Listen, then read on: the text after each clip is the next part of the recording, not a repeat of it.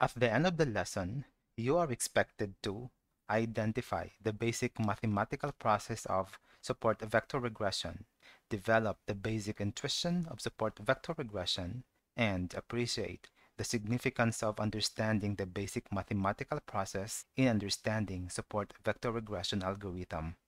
Our today's lesson can be best understood in the light of this example. So we have a currency exchange rate. And let's just consider that you have a business in this field. And we know exactly that exchange rates are really fluctuating.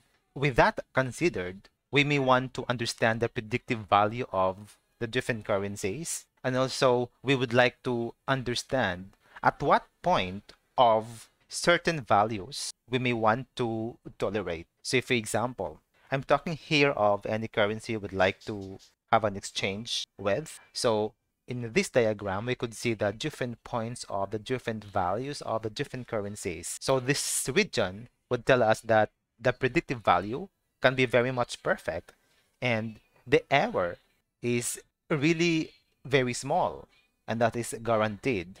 However, not in all cases this kind of situation is true because it is possible that in some currency values, as you could see in these points, they are not the values that we love. But the question here is this, at what particular values we can tolerate? That means we can still exchange the rate even if we would be losing.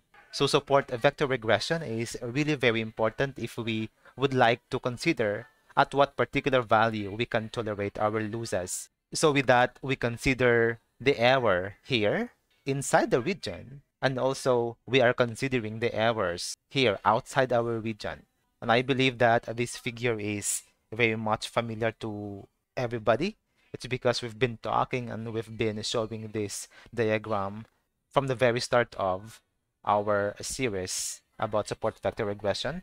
But for better understanding of how it really goes with respect to mathematical concept, mathematical processes, then let's go to this one. So considering all the concepts that we've discussed in our past videos, and I really would like to suggest that you please watch these videos because these previous videos are really very much important for you to be able to have a clear and full understanding of this lesson. Before we continue, please don't forget to hit the subscribe button down there to enjoy our data science free courses like Mastering Machine Learning Algorithm, Deep Learning Mathematics, the different data science algorithms, and a lot more. And if you want to be notified every time we upload our new videos, please hit the notification bell and select all.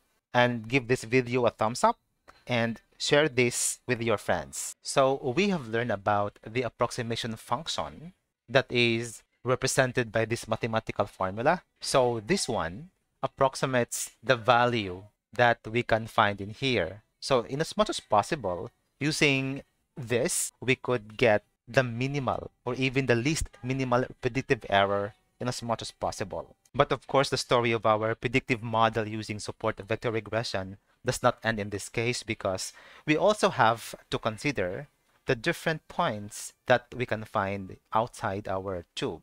This is actually what we call our soft margin.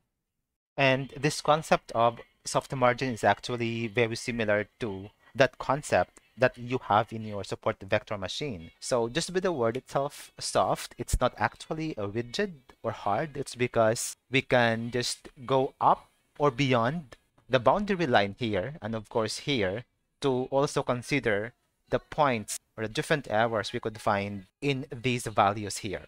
Okay, that's why it's called soft. That's just actually the intuitive understanding of what a soft margin is. So again, the basic idea behind this part of our equation is that it ensures that there is very minimal error or in a technical word, we could say that there is flatness in every point of x. So using this one, we could say that our convex problem, let me write here, convex problem is always feasible. That is, if we are just considering this one.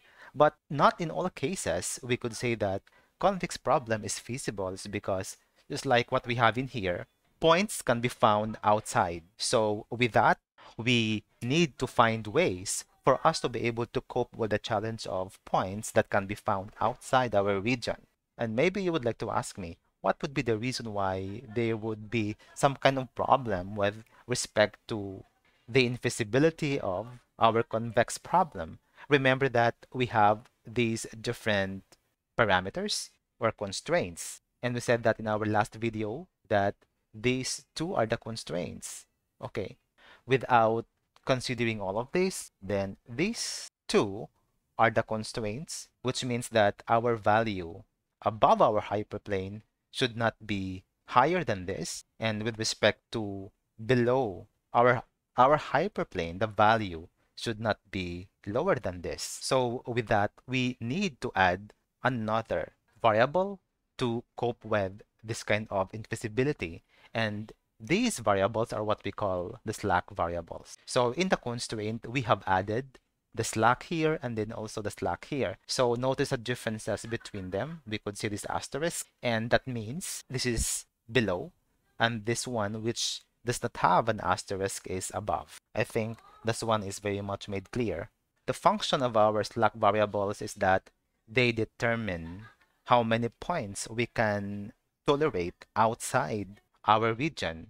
So for example, in this case, if we're going to make a line, straight line, from this point going to this point, then we could say that this point cannot be tolerated and therefore because it cannot be tolerated, then it can never be included in our model. One more thing we have to know about our slack variable is that the value should be equal to or greater than 0 and it should never be less than 0. So if we are going to look at our equation for the support vector regression, then we can also see this letter C here. So what is this all about? Letter C is actually our constant or this is also called our hyperparameter. And because it is our hyperparameter, then what's the function of this letter C?